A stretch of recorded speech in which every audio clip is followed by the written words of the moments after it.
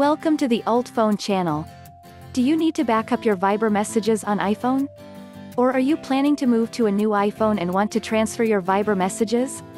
In this video, we will show you how you can back up and restore Viber messages on your iPhone. To back up and restore Viber messages on iPhone, we will use UltFone WhatsApp Transfer tool. UltFone WhatsApp Transfer provides a more flexible app backup and restore solution than official. You can restore lost data from old backup and even restore without resetting or uninstalling. Let's get started. First, download UltFone WhatsApp Transfer to your PC. You can find the download link in the description. Install and launch it.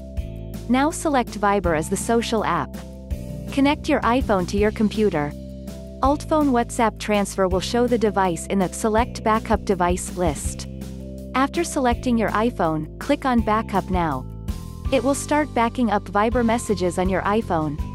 After the backup process, click on View Backup and it shows you all of your Viber messages.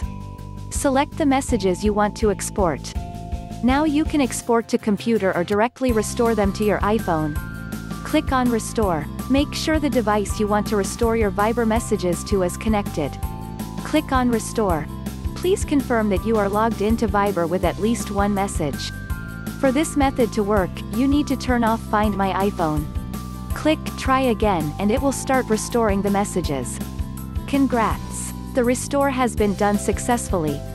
You can even export the backup data to your computer and use it to restore it in the future. That's all about how to backup and restore Viber messages on iPhone. Thanks for watching. If you find this video helpful, don't forget to give it a like and subscribe to our channel for more useful iPhone and iPad tips.